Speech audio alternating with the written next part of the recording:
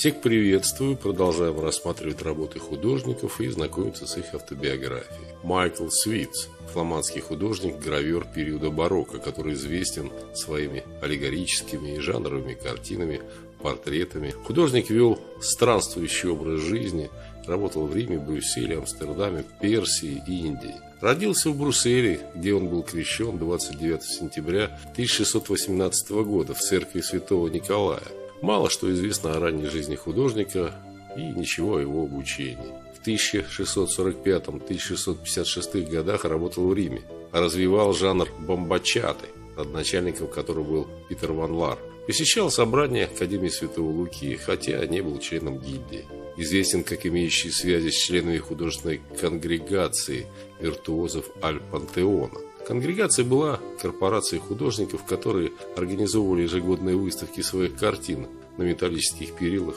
перед Пантеоном.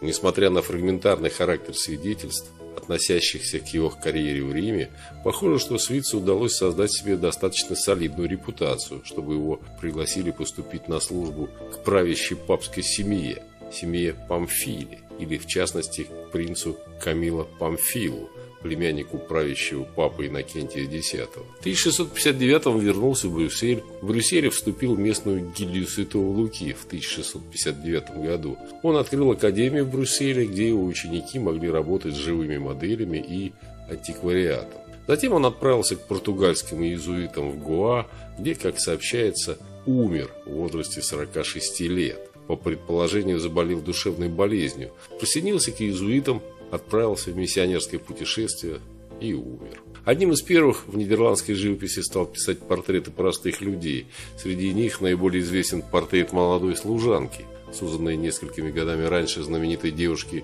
жемчужной серьгой Вермера. Проявлял интерес к изображению обычных людей и изучению характеров и различных выражений.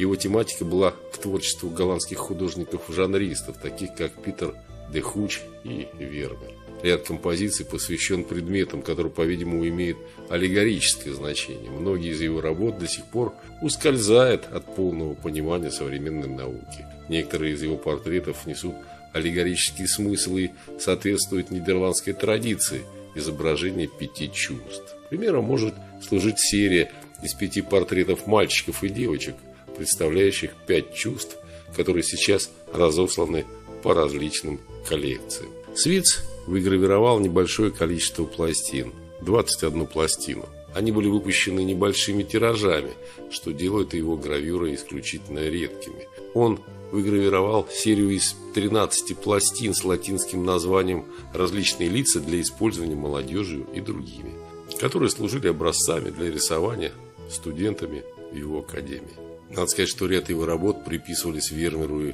Терборху. Ну, вот такие вот небольшие данные из переводной Википедии о фламандском художнике и гравере периода барокко, который известен своими аллегорическими и жанровыми картинами и портретами Майкл Свитц. Пока-пока, до свидания. Всего хорошего, смотрим работу.